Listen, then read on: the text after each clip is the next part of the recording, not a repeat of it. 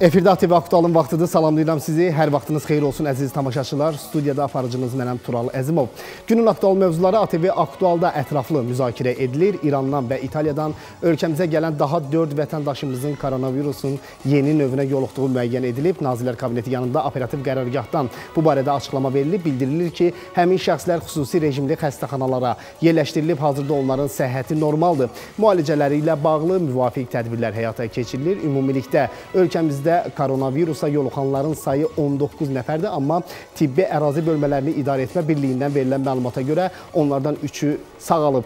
Koronavirus təhlükəsi ilə bağlı ölkəmizdə mövcud vəziyyət, yoluxanların sayı barədə rəsmi açıqlamalar verilir. Yəni heç bir şey gizli saxlanmır. Buna ehtiyac da yoxdur, çünki bu dünya üzrə gedən prosesdir. Amma təəssüf ki, müxtəlif şayələrlə əhalini təşvişə salmağa çalışanlar var. Bu cür davranan insanlarla bağlı hansı tədbirlər görülə bilər? Həmçinin ümumilikdə Azərbaycan Azərbaycanın humanitar sahədə qlobal problemlərin həllinə dəstəyi və töhfələrini müzakirə etmək üçün studiyamıza millət vəkili Hikmət Babaoğlunu dəvət etmişik. Hikmət müəllim, xoş gəlmisiniz. Çox sağ olun, təşəkkür edirəm. E, Hikmət müəllim, qeyd etdiyimiz kimi koronavirus təhlükəsinin geniş yayıldığı bir dönəmdə e, rəsmi qurumlar açıqlamaları, lazımi açıqlamaları verir. Yəni nə baş verirsə, hər şey rəsmi e, surətdə açıqlanır. Amma çox təəssüf ki, e, məsələn dünənləri e, WhatsApp sosial şəbəkəsində belə bir səs yazıları yayılmışdı ki, güya e, gecə saatlarında paytaxtda helikopterlərlə kütləvi ölkənin ümumilikdə paytaxtın dezinfeksiya işləri aparılacaq e, və bu insanlarda müəyyən təşviş yaradır. Necə bu ilk hal deyil. Yəni koronavirus təhlükəsi olmamışdan əvvəl də belə davrananlar olub. Bu problemi ümumiyyətlə necə aradan qaldırmaq olar?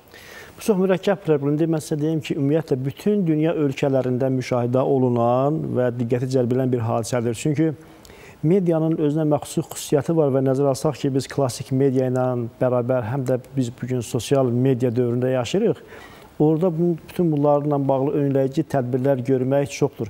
Medianın xüsusiyyəti belədir ki, o bütün informasiyaları mediatikləşdirərək təqdim etməyə çalışır, önə çıxmağa çalışır və bunun üçün də deməli kütləvi maraq doğura biləcək xəbərlər yaymağa çalışır. Amma heç axtarmır ki, bu bu kütləvi maraq doğura biləcək xəbər obyektivdirmi, dəqiqdirmi, dəqiq deyilmi? Bax, məsələ burada artıq manipulyasiya halını alır ki, bu da çox təhlükəlidir.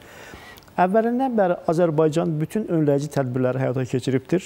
Bəli. Bayaq rəqəm səsləndirdiniz. Baxmayaraq ki, qonşu ölkələrdə virusun yayılma miqyası çox böyükdür Bəzi ölkələrdə ə, e, lap çoxdur. Bəli. Amma Azərbaycanda görürsünüz cəmisi 19 nəfər say var. Azərbaycan hökuməti və Azərbaycan hakimiyyəti, Azərbaycan dövləti, Azərbaycanın səhiyyə sektoru özündən əmindir, özündən arxayındır. Bəli.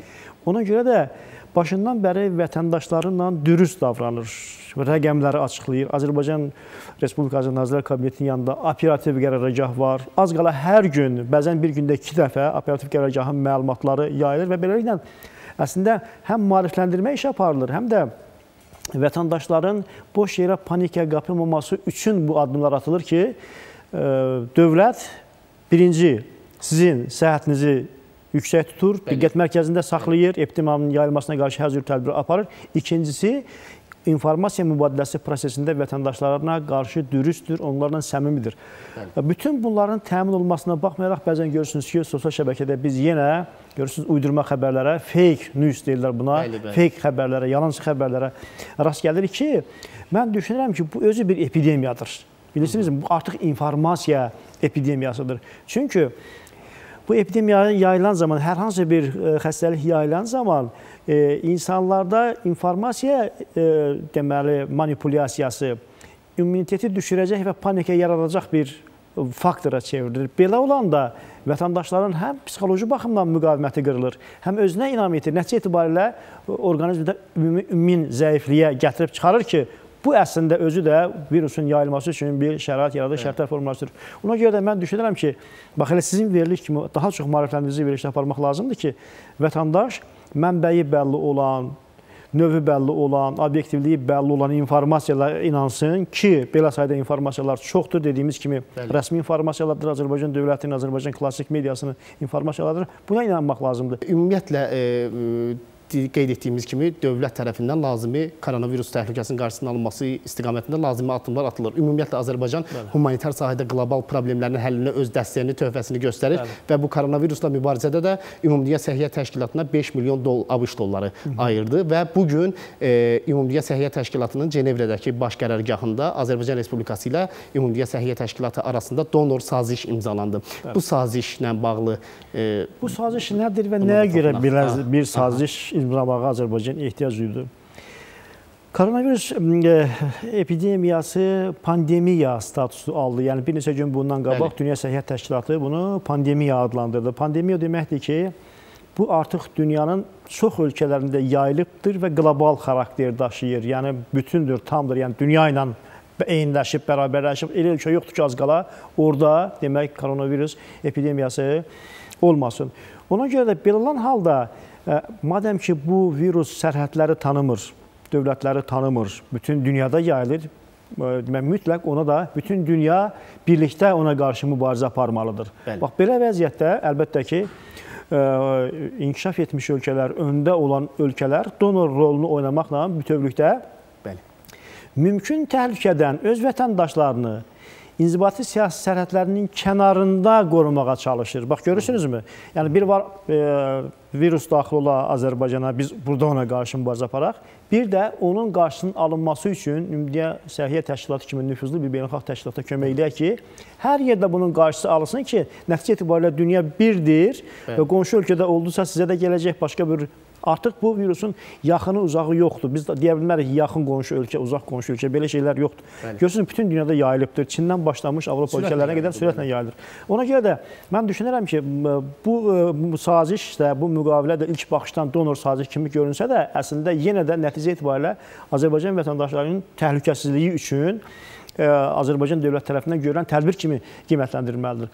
Azərbaycanın bu dəstəyi Ümumdünya Səhiyyə Təşkilatı tərəfindən təqdir edilir. Əlbəttə ki, Bax, Azərbaycan e, imzalanan saziş 5 milyon ABŞ dolları həcmindədir.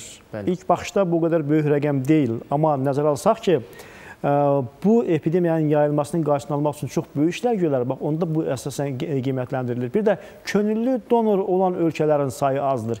Bəzi ölkələr sadəcə sərhədlərini bağlamaqla və ölkə daxilində Bəli. inzibati tədbirlər həyata keçirməklə, tibbi tədbirlər həyata keçirməklə bunun qarşısını almağa çalışırlar. Amma bilirsinizmi, dünya qloballaşıbdır və qlobal dünyada artıq dediyimiz kimi bu cür viruslar qarşısında, bu cür epidemiyalar qarşısında sərhədi bağlamaqla tədbir görmək olmaz. Ümumiyyətlə e, İranla sərhəddə yaşayırıq, İranla sərhəd ölkəyik və İranda bu koronavirus təhlükəsi çox geniş yayılıb.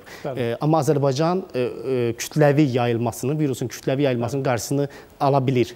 E, eyni zamanda Azərbaycan ən qabaqcıl laboratoriyaları koronavirusla mübarizə üçün alınan laboratoriyanın alan 17 ölkədən biridir. Əlbəttə ki, biz dedik ki, ardıcıl olaraq və davamlı tədbirləri görülür. Yəni Hı. İlk növbədə diqqəti mən bir şey çəkmək istəyirəm ki, bu koronavirusun yayılma arealı və coğrafiyası çox maraqlıdır. Sanki bu virus birdən-birə başqa uzaq coğrafiyaya sıçrayır və yaxud birdən-birə Avropaya gedir, oradan qadir və s. Ona görə də bu virusun ölkəyə hardan daxil olacağını və necə daxil olacağını əvvəlcədən kəstirmək, proqnozlaşdırmaq mümkün deyil. Bütün bunları nəzərə alan Azərbaycan hökuməti ümumi kompleks tədbirlər həyata keçirir. Bax, onların içərisində siz dediyiniz məsələlər də var. Əlbəttə ki, əgər qonşu ölkədə bu qədər e, geniş yayılıbsa və Azərbaycanda sadəcə 19 hadisə qeydə alınırsa, mütləq bunu əlbəttə ki, Azərbaycan e, hökumətinin, Azərbaycan dövlətinin həyata keçirdiyi preventiv tədbirlərlə izah etmək olar. Başqa cür mümkün deyil.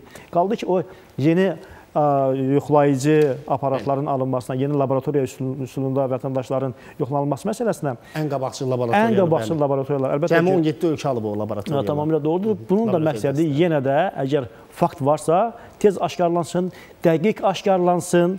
Yəni köhnə avadanlıqlar bəzən bunu aşkar edə bilmirlər, bəzən aşkar e, etməkdə çətinlik çəkirlər, ancaq nə qədər vaxtında bu aşkar olunarsa, müalicə nə qədər tez başlayarsa, onun yayılmasının da qarşı tez alınar, xəstəliyin sağalması da qeyd alınır. Bütövlükdə isə Bu xəstəlik e, düşünüldüyü qədər də qorxulu deyil. Çünki Ümumdünya Səhiyyə Təşkilatının məlumatına görə xəstəliklərin e, xəstəliyə yoluxanların 81%-i sağalır. Bəli. Bəzi ölkələrdə bu faiz 85-ə qədərdir. Bəli. Bəzi ölkələrdə 70-dən yuxarıdır və s.